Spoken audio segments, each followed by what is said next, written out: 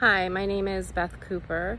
Um, I am applying to be a part of the research program for the MedBed 9010 um, because I've had post-traumatic stress disorder since, I mean, for as long back as I can remember, since I was 14 or 15. Chronic back issues, weight issues, um, and so forth.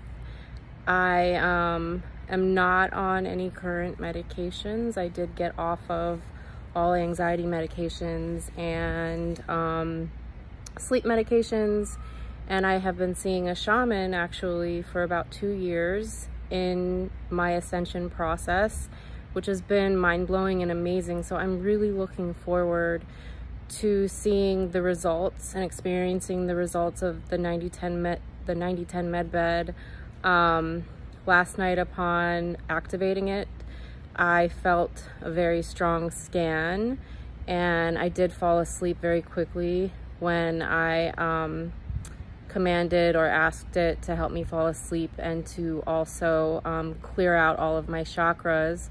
And or I actually asked it specifically to um, to remove all lower dim, lower dimensional vibrations out of each of each and every one of my chakras and I felt it go to my roots, my base, my sacral, my every single chakra um, and it was intense and amazing. I felt definitely lighter when I woke up this morning. Um, a huge difference. So I'm so looking forward to, to seeing um, what else 9010 MedBed can do. Uh, thank you so much for letting me letting me be a part of this program.